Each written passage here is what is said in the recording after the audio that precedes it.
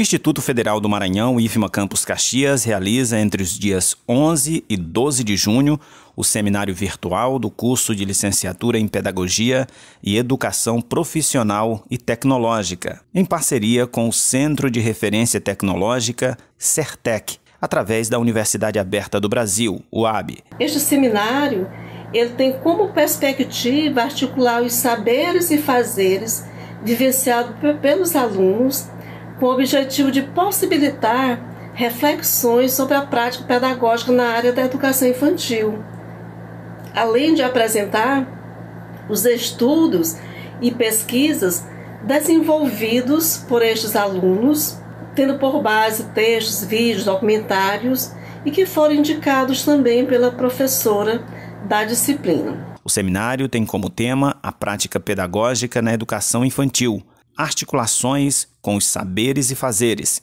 A transmissão do evento será por meio do canal do YouTube do IFMA Campus Caxias. O seminário ele tem como tema a prática pedagógica na educação infantil, articulações entre os saberes e fazeres.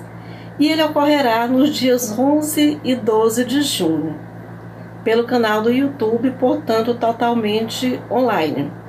As inscrições do nosso seminário estarão abertos até o dia 10 do 6 no site tá, do IFMA.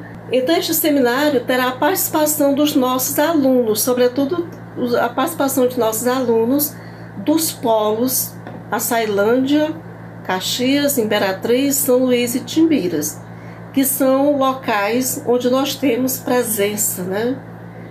É, o IFMA está ali presente com turmas. Quem tiver interesse em participar do evento e receber certificado, pode se inscrever gratuitamente até o dia 10 de junho no site do evento eventosifmacaxias.com/seminário.